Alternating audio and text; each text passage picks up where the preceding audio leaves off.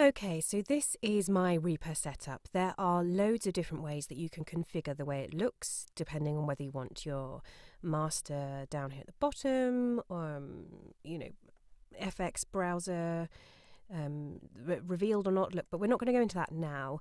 Um, what I wanted to quickly show you was how to do punch and roll in Reaper.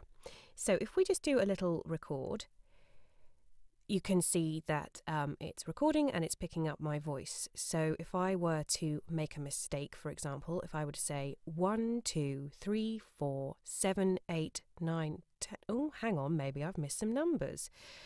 We want to stop.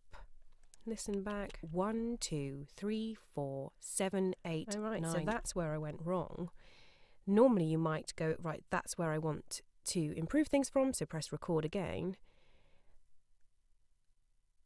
Oh dear, that's not very helpful, is it? Because you can't remember what came before, so you've not got a pre-roll. But you will notice if I just come back a bit, um, and I just press stop again. There we go. It's also done it as a new take, which is really annoying.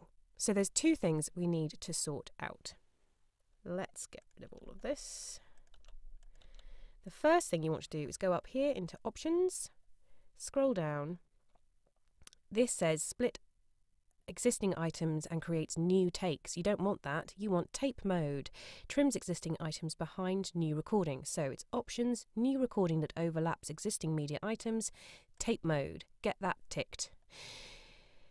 The next thing you want to do is organize your pre roll. So if you go to actions, open your actions list, type pre roll, and then toggle pre roll on record.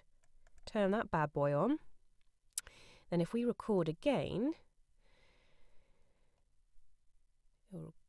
it will, record from there. Uh, so, 1, 2, 3, 4, 5, 6, 9, 10, 11. Oh, she can't count.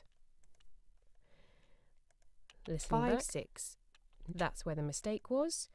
So if we press record from there, what we should hear now is a little few seconds uh, pre-roll. Uh, so one, two, three, four, five, six, seven, eight, nine, ten, eleven, twelve. And yeah, I think I did that very badly. so let's do that again. Uh, so one, two, three, four, five, six, seven, eight, nine, ten, eleven, twelve. And that should be your punch and roll sorted. One, two, three, four, five, six, seven, eight, nine, ten, eleven, twelve. And that should be. There we go. I hope that was helpful. Uh, I intend to do more little tips and tricks like this. Um, but let's just say bye bye for now. Bye.